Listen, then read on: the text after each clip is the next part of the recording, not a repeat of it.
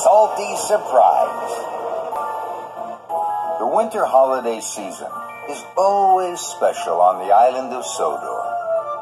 There are presents and prizes and gifts and surprises for everyone. One snowy day, Edward and Thomas were at Brendam Docks. Thomas was shunting cars of brightly wrapped presents.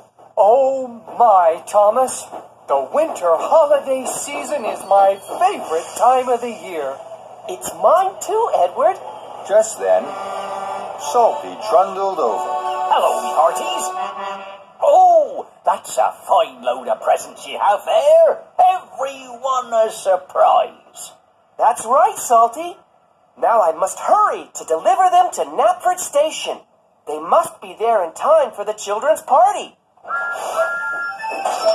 Salty, do you like presents and parties? Salty smiled. Oh, I don't have time for presents and parties, me hearty. I love a good story, me. That's all I need. Salty chugged away cheerfully. Edward wished worried. I'm sure a good story isn't all Salty needs. Salty needs a winter holiday present. I will find him one at once. Victor will have something for Salty. And Edward huffed happily away to the steamworks. Victor and Kevin were there. Hello, Victor. Hello, Kevin. I've come to find a winter holiday present for Salty. Well, that's a very good idea, Edward. Chuff around until you find something special for Salty. Thank you, Victor. Then Edward saw Rosie. She was shining and smiling with a bright new coat of paint. An idea flew into Edward's funnel. I will take Salty a pot of bright paint. So Edward chuffed cheerfully back to the docks and to Salty. Salty, I've brought you a happy winter holiday present. It's a pot of bright green paint. Now you can be as green as a Christmas tree. Salty was surprised. Oh, shiver me timbers, Edward. I've a story about green paint. Tell me, Salty. Ah, well, once long ago, there was no red paint on the island. So, them's in charge painted me green. But then, no one could find me, because they were all still a looking for a red engine. So, you see, I could never be painted green again. But I thank ye, Edward, for your kindness. Edward's firebox fist. That was a good story. Salty chuckled. I likes a good story, me. So Edward clickety-clacked back along the track to the steamworks. Victor was surprised. Salty didn't want to be green. I must find him another present. Kevin beamed. I have one for you, Edward. Follow me. Kevin held high the fancy funnel. Edward wished worried. Salty's a diesel, Kevin. He doesn't need a funnel. I know, but this one is fancy. Edward had to agree. Salty might like a fancy funnel. So Edward raced like the wind all the way to Salty. Happy winter holiday, Salty. I brought you a fancy funnel. Now you will be the most special diesel on the whole of Sodor. Salty was surprised. Shiver me timbers, Edward. Huh.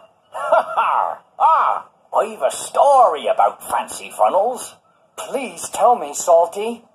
Ah, well, once long ago, I was given a fancy funnel. Very like this one, me hearty. Cranky lowered it onto me. Then, the strangest thing happened. Ah, it shook and it shuddered.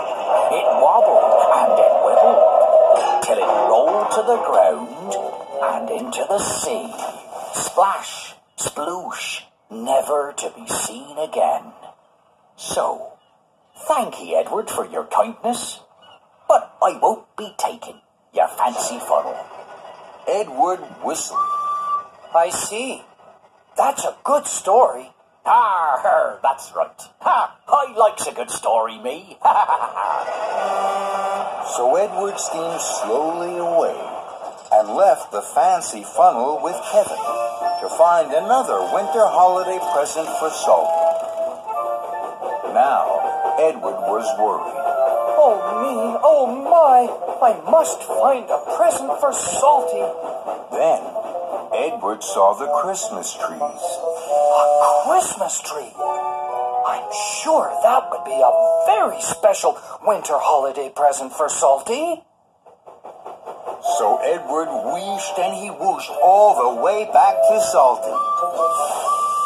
Happy winter holidays, Salty. I've brought you a Christmas tree. Salty was surprised. oh, shiver me timbers, Edward. Oh, I've a story about Christmas trees. Tell me, Salty, please. Ah, well, once, a long, long time ago, I was given a Christmas tree, me hearty. Ah, it was grand. Ah, it was green. It was great. But, the smell of the sea made it sickly. It shriveled, it shrunk, and it shook like a wobbly weed. So, I thank ye, Edward, for your kindness, but I won't be taking your tree.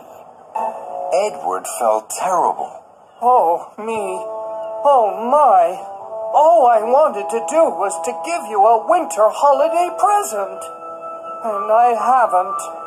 Oh, but you have, Edward. Think me hearty. What do I like most of all? Edward thought, and he thought. A story.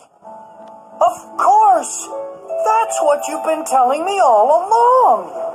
That's right, Edward. I've given you a story. And I thank ye, Edward. now, gather round, me hearties, and listen to me story.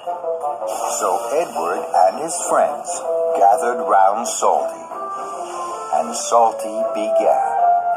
Once, a kind and wise engine called Edward wanted to give an old red diesel a winter holiday present.